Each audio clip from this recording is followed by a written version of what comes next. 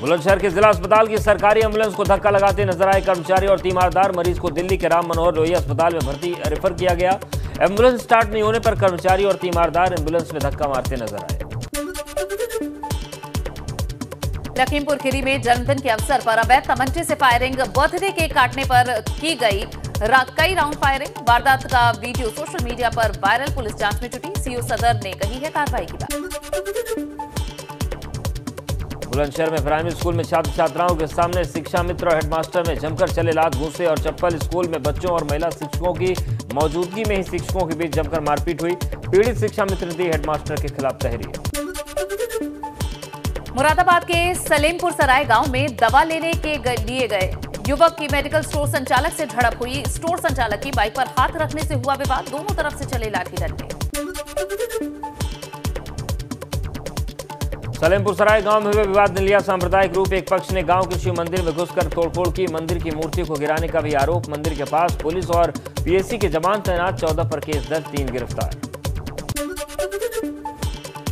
बरेली में दबंगों के हौसले बुलंद। घर में घुसकर महिला, उसके बेटे के साथ मारपीट की गई। शादी के बाद पंचायत को लेकर हुआ विवाद। घटना का वीडियो वायरल।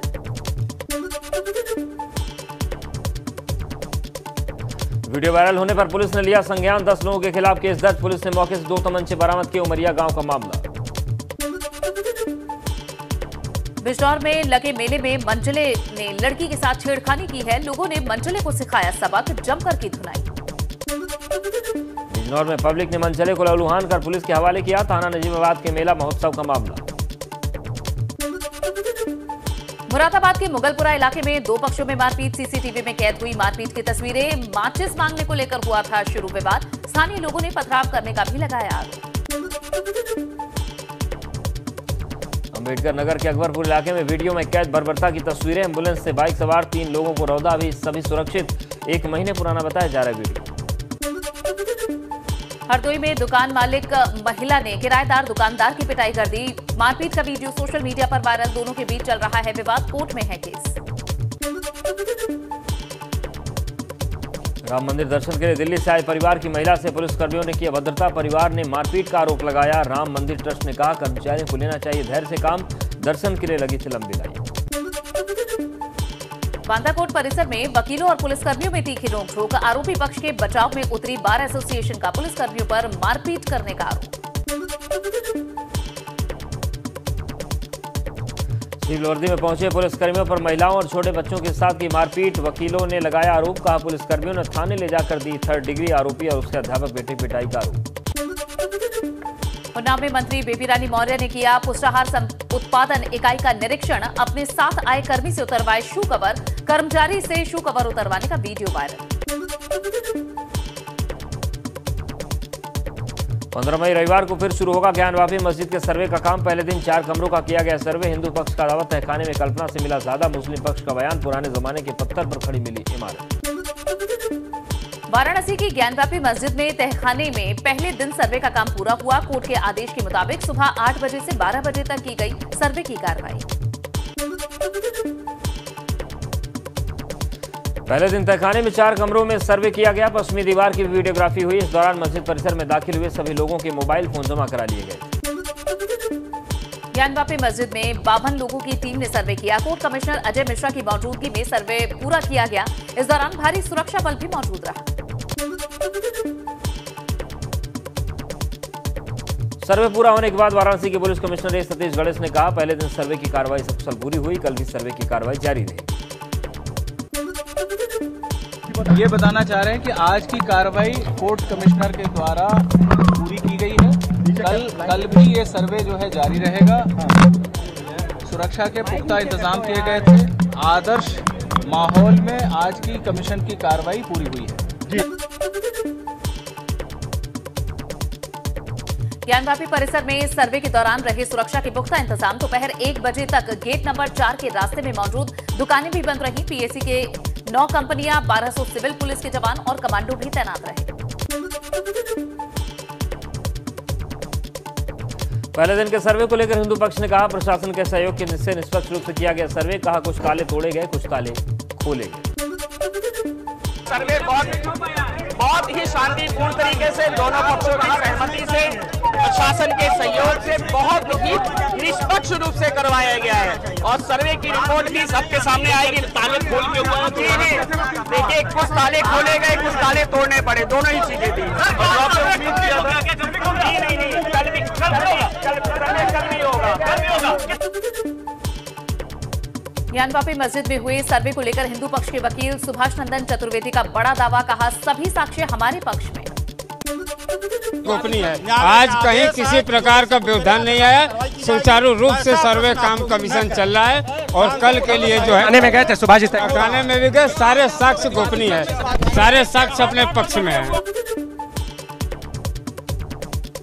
जानवाबी मस्जिद पे सर्वे पर एआईएमआईएम के राष्ट्रीय अध्यक्ष असदुद्दीन ओवैसी ने फिर उठाए सवाल कहा सर्वे पर कोर्ट का आदेश गलत ये आदेश उन्नीस सौ इक्यानवे एक्ट का उल्लंघन है।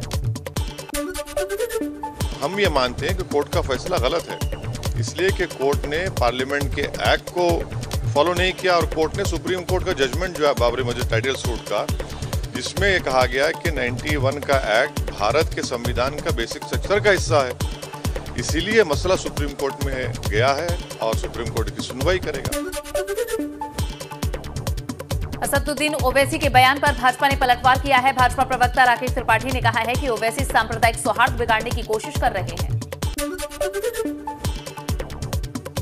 गोरखपुर दौरे पर मुख्यमंत्री योगी आदित्यनाथ ने विकास कार्यों का किया निरीक्षण। गोरखपुर देवरिया फोरलेन निर्माण कार्य का जायजा लिया। गोरखपुर दौरे पर सीएम योगी का एक बार फिर दिखा बाल प्रेम निरीक्षण, बच्चों से बातचीत कर चॉकलेट खिलाई मुख्यमंत्री योगी आदित्यनाथ से मिले हिमाचल प्रदेश के गवर्नर राजेंद्र विश्वनाथ अर्केलर।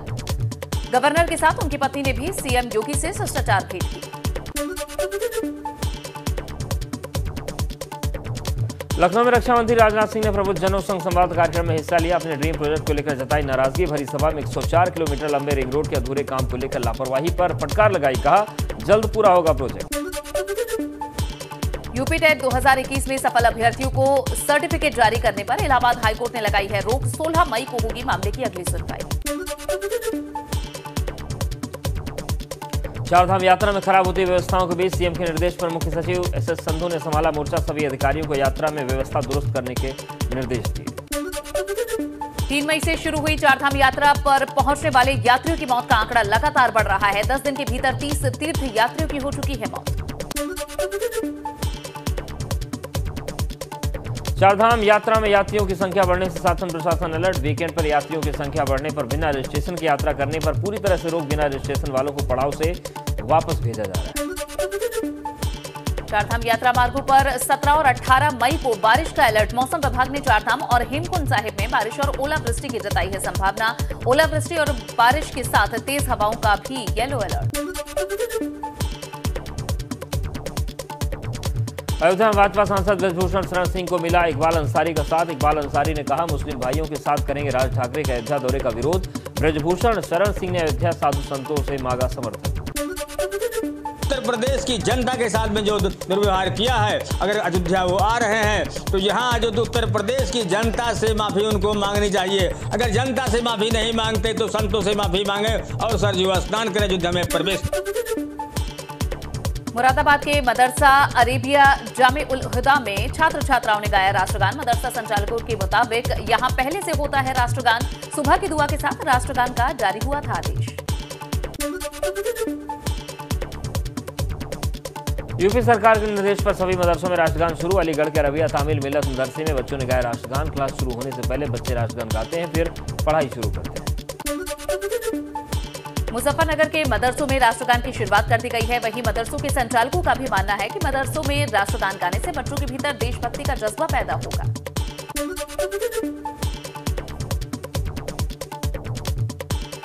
बहराइच के मदरसों में भी सुबह सात बजे से राष्ट्रगान की शुरुआत की गई। सीएम योगी के निर्देश पर सभी मदरसों में राष्ट्रगान गाया गया। इससे पहले मदरसों में उर्दू की नज्म सारे जहाँ से अच्छा गाया जाता आगरा के मोइन उल इस्लाम मदरसे में बच्चों ने पहले राष्ट्रगान गाया। इसके बाद मदरसों में पढ़ाई शुरू हुई। यूपी अल्पसंख्यक आयोग के अध्यक्ष अशफाक सैफी ने भी राष्ट्रगान में हिस्सा लिया।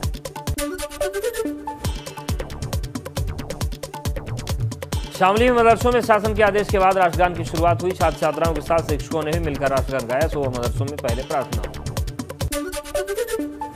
अमरोहा में जल शक्ति मंत्री स्वतंत्र देव और राज्य मंत्री संजीव कुमार ने दलित के घर खाना खाया। जोया कस्बे में दीपक जाटव के घर दोनों मंत्रियों ने भोजन किया। यूपी बोर्ड के शिक्षकों के साथ अब छात्र छात्राओं की भी ऑनलाइन हाजिरी कराने की तैयारी। कक्षा नौ से बारह तक छात्र छात्राओं की ऑनलाइन हाजिरी लगेगी। स्कूलों को जुलाई से व्यवस्था शुरू करने के निर्देश। सीतापुर के जिला अस्पताल में आठ माह के बच्चे की इलाज के दौरान मौत हो गई। परिजनों ने इंजेक्शन के दो घंटे के बाद ही बच्चे की मौत का आरोप लगाया। तिरी झील के दलदल में फंसे व्यक्ति का पाँच घंटे की कड़ी मशक्कत के बाद रेस्क्यू कर निकाला गया। चिन्याली सौड़ के बलडोग का रहने वाला बताया जा रहा है ग्रामीण आपदा प्रबंधन और रेस्क्यू टीम पुलिस ने रेस्क्यू किया। उन्नाव में लखनऊ आगरा एक्सप्रेस वे पर सड़क हादसा हो गया। लखनऊ से दिल्ली जा रही स्लीपर बस डिवाइडर से जाकर टकरा गई और पलट गई। बस में सवार तीस सवारियों को आई चोटें। बस के ड्राइवर को नींद की झपकी आने से हादसा हुआ। घायलों को यूपीडा और औरास पुलिस ने पीएचसी में भर्ती कराया। मेरठ में कलेक्ट्रेट के बचत भवन में लगी आग। डीएम कार्यालय के सामने है बचत भवन। आग लगने से मची अफरा तफरी। शॉर्ट सर्किट बताई जा रही है आग लगने की वजह। दमकल विभाग ने आग पर काबू पाया। गुंडा के अचलपुर गाँव में एक सिरफरे आशिक ने खुद पर पेट्रोल डालकर किया आत्मदाह युवक को बचाने के लिए दौड़े लड़की पक्ष के लोग। लड़की समेत तीन लोग गंभीर रूप से झलसे जिला अस्पताल में इलाज चल रहा है।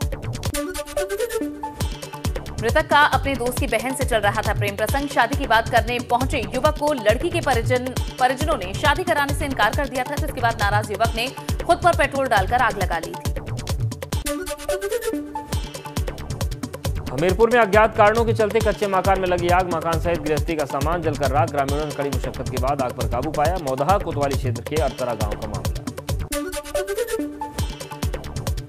बुलंदशहर के खुर्जा में जामुन के खेत में पेड़ से लटके मिले प्रेमी प्रेमिका के शव। पुलिस ने जाँच के बाद किया खुलासा। शादीशुदा महिला का युवक से चल रहा था प्रेम प्रसंग। दोनों को, दोनों के शवों को पोस्टमार्टम के लिए भेजा गया।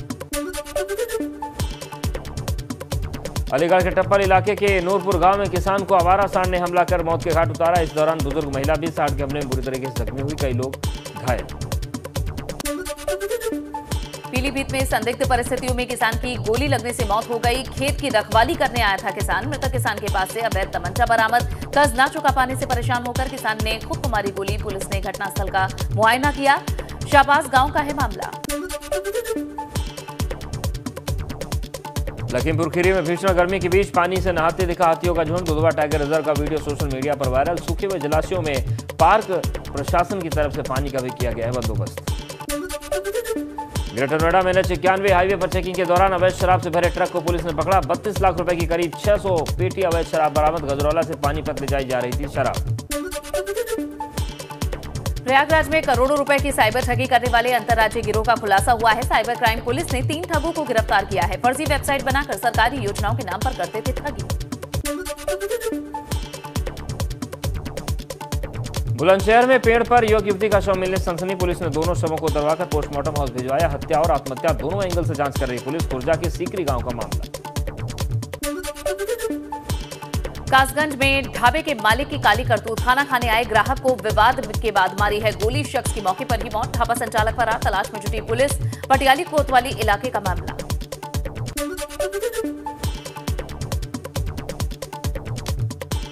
उधम सिंह नगर के शांतिपुरी में शनिवार सुबह खनन विवाद को लेकर एक शख्स ने भाजपा नेता और खनन कारोबारी संदीप कार्की को गोली मार दी। चिकित्सा अस्पताल से रुद्रपुर पहुँचे संदीप को डॉक्टर से मृत घोषित किया। पुलिस ने शव को पोस्टमार्टम के लिए भेजा है। मुजफ्फरनगर पुलिस ने शनिवार को लगभग 50 लाख रुपए की कीमत का अवैध शराब का जखीरा बरामद किया है। पाँच आरोपियों को गिरफ़्तार किया गया। मुखबिर की सूचना पर अवैध शराब फैक्ट्री का भंडाफोड़ हुआ।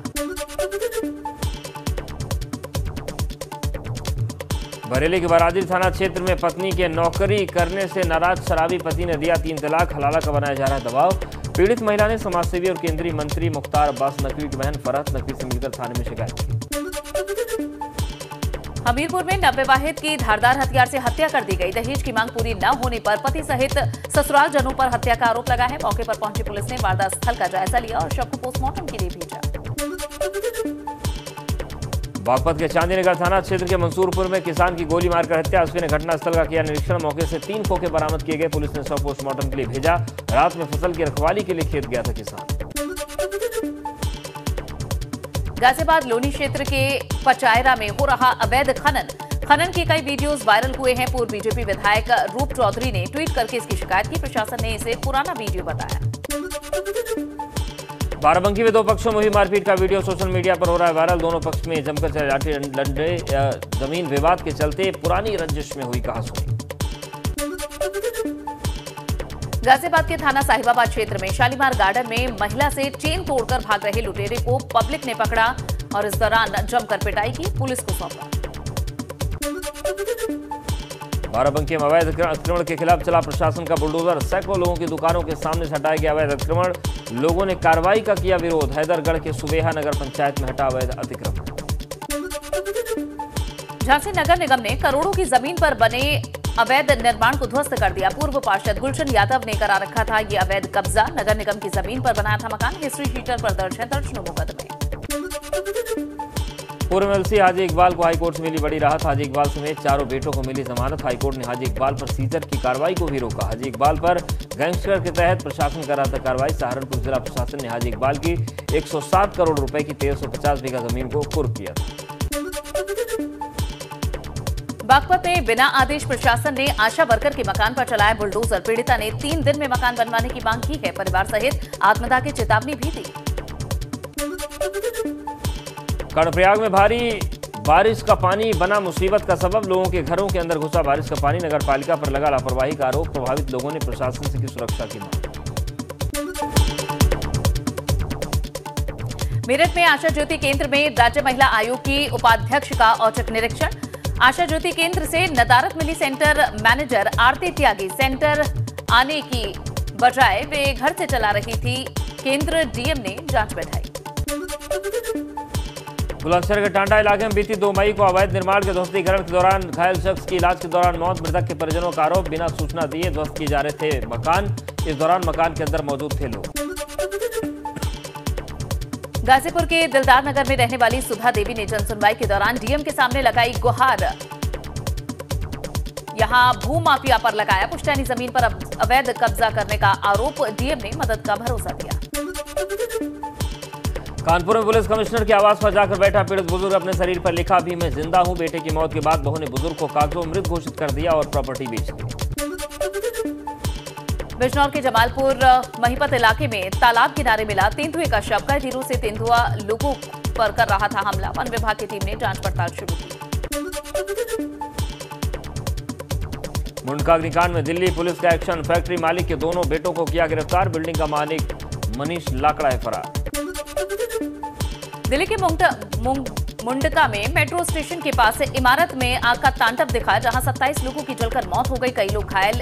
हालत गंभीर है। नजदीकी अस्पताल में चल रहा घायलों का इलाज। आग की घटना इमारत की पहली मंजिल में शाम चार बजे से भड़की जिसके बाद आग ने फैलते हुए पूरी इमारत को अपनी चपेट में ले लिया। तकरीबन आठ घंटे चला रेस्क्यू ऑपरेशन बिल्डिंग में बिना एनओसी धड़ल्ले से चल रही थी कंपनी चश्मदीदों की माने तो जिस वक्त आग लगी, उसके बाद शीशा तोड़कर काफ़ी सारे लोग जान बचाने के लिए ऊपर से ही कूद गए। पुलिस ने कई लोगों को स्थानीय लोगों की मदद से रेस्क्यू भी किया। आग लगने के कारणों का खुलासा नहीं।